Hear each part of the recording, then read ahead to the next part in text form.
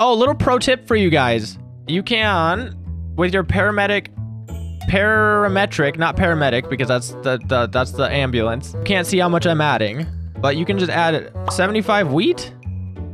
And where's the other one? Cabbage. Wheat and cabbage. It's the cheapest thing you can add to your to your your gym jam. And it gives you a nice little juicy amount of materials. Look at that. Just like that. The cheapest thing you can buy.